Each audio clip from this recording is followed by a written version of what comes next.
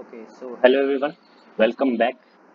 Now let us start problem number 5.5 on page number 224, which says that uh, we have a current flows down a wire of radius A.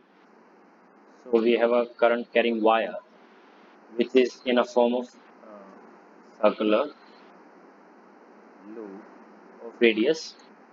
This is of radius A. Alright, radius is A. So what and the current is here I.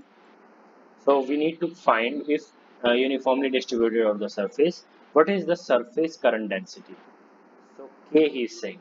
So as we know that K is equal to I uh, upon dl perpendicular, where the length element dl is the length element perpendicular to the surface. So it uh, it, it can only be the circumference of the loop. So I'll be using uh, d uh, 2 pi a because a is the radius of the loop. So this is the uh, surface current density. Now coming to the next b part which says that uh, j is the volume current density which is j is inversely proportional to the distance. And distance uh, as he's saying j is a function of s. That is why i'm using s here or i'll be using r if it is not given so it is inversely proportional. So removing the uh, proportionality sign, we get a constant K. And let us use M here because K is for surface current density. So M is the constant. Alright. So what we need to find, we need to find what is uh, J. So to find J, we have S, we need M. Alright. So as we know that uh, I is equal to J dA perpendicular.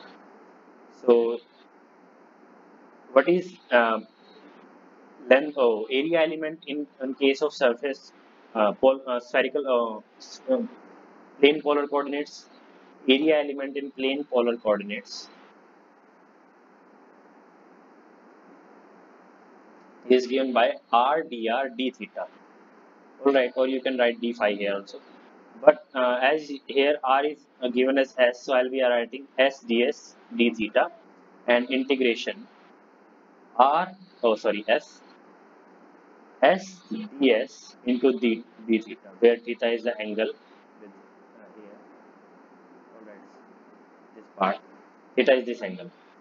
So uh, integrating and we have a j also here. i forgot j so putting the value of j m upon s into s ds d theta. As we know that uh, theta is from 0 to 2 pi for a full circle. Let us uh, cancel s by s. So we get m ds and d theta. The limits are 0 to 2 pi for full circle. And it is from, uh, as radius is a, so ds is from 0 to a. So m into, so i is equal to this.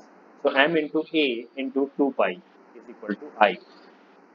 So from here we get m is equal to i upon, sorry, i upon 2 pi a.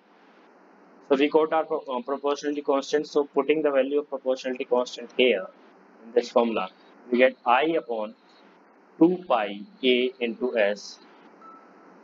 This is the volume current density we are getting if uh, volume current density is inversely proportional to the distance from the axis. So I hope you understood the uh, question. That's all for this video. See you in next video. Bye bye.